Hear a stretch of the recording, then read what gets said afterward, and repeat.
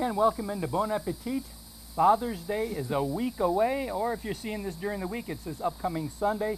What does Dad really like on Father's Day? How about a wonderful grilled steak? Yes. And we got here with us today Erin Beasley, and she's with the Alabama Cattlemen's Association.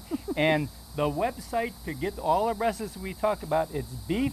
It's what's for dinner.com. You got it, Mr. Jack. It's, yeah, That's it. and today we're going to talk about steaks. Uh, nothing better for dad than a beautiful beef steak. Mm. All right, and we've got the king of the steaks today. We've got uh, a beef ribeye. Okay. Ah, now you can do this recipe. You can whatever dad, uh, you know, his favorite ribeye, T-bone, porterhouse, Mm-hmm. strip, whatever you want to do. But we've got ribeyes today. Will you teach? There's something that I would like you to teach us. Okay. Okay.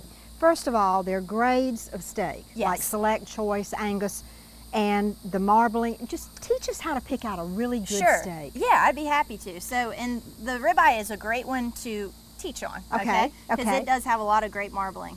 This ribeye is beautiful. It's got a uh, beautiful center here, and it's got this this nice cap. This is the part that I always save for the dessert because it tastes like butter. It's so tender Ah. and delicious. But when you're picking on a steak, you want to look for good color, so pretty cherry red color. And then as far as the grade goes, it'll be marked, but to give y'all a little insight, a USDA choice steak like we have today is one that has a, a, a nice amount of this marbling right here. Okay. Okay. So these little white flakes, it's not this outer fat. Right. Okay, Mhm. we trim Okay. that off. It's this inner fat that that is the marbling. So uh, that's what we're going to look want to look for. The more marbling you have, the better grade of beef you have. Mhm. That's why prime is the the highest grade and costs the most, and then you have choice and then select. Okay. Okay. Okay. Now, there's nothing wrong with select beef, okay? But it is going to be at a lower, lower price point than your Sure. choice product. Okay. So all we're going to do, this is a little different uh, than your traditional beef steak. We've actually got a barbecue rub to put on, Ooh. on this ribeye, which is going to have a lot of different flavors going on. Uh, this marinade that or rub that we've created is um, it's got apple cider vinegar, Worcestershire, Ooh, brown sugar, cumin, and Mhm. chili powder going on, and some Ooh. garlic. Apple cider vinegar is very good for Great by the way. combination. Yes. Yeah, and so all we're gonna do now, we don't want to go too heavy on this. We don't want to, you know, take over the the taste of the beef. So we're just gonna pour some on, and kind of like we're, you know, if we were doing a brisket or some ribs or something, we're just gonna go ahead and rub it, rub it on there. Again, I don't want to go too heavy on it, so I just have this little trick.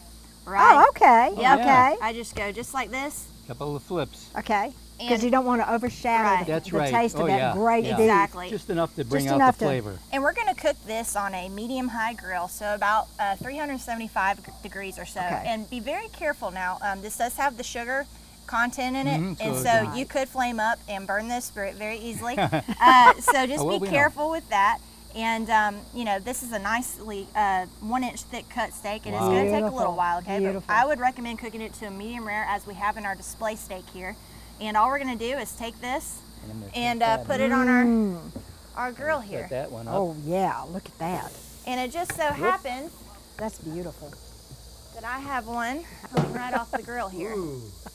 Oh, Mrs. J, wow. We're gonna put it right over here where that other steak was not. Ooh. Wow. And uh, that's a beautiful steak. Now here's a trick, guys, for any steak grilling you do. We don't want to take it off the grill and start cutting into it right, Right. now. Okay. It- Okay. We've got to let Let it it rest. set. It needs to rest about five minutes, Mhm. especially with the thickness of steak that this is. And then I, you know, I recommend just slicing it up pretty. Uh, the corn, summer corn, is a great Yes. side. Yes. Uh, we do peanut butter corn in my house. I know, big Oh, surprise. that's all right, Big yeah. surprise, all right? Uh, but th- this is a great recipe. This is how you really treat dad. I know we'll be Mm-hmm. doing this in, in my household. It's our first Father's Day to celebrate with my husband, so this That's is what right. we're going to have. now, tell us why you let it rest five minutes. Okay, well, when it's on the heat, it's really got the meat is really being impacted a lot by that heat. Mhm. And uh, when you take it off by letting it rest, you let that temperature quit climbing so quickly. Okay. Okay, and what that does is it lets the juice just kind of redistribute. If we slice into the steak right now, you'd end up with juice all around the cutting That's board. right. Well, I don't know about you, but I'd rather have that juice in the bite that I put in my Absolutely. mouth. So that, that's why we let that do. Keeps and that moisture. it's the same thing if we were making roast or anything Right. else. We Mhm. always want to let the meat rest for just a little bit and let those juices redistribute.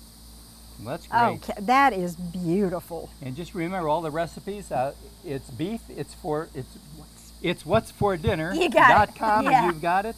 And this is Bon Appetit. We want to thank Erin, and we'll be right back right after this. Thanks, and guys. happy Father's Day. Happy Yes, Father's indeed. Day.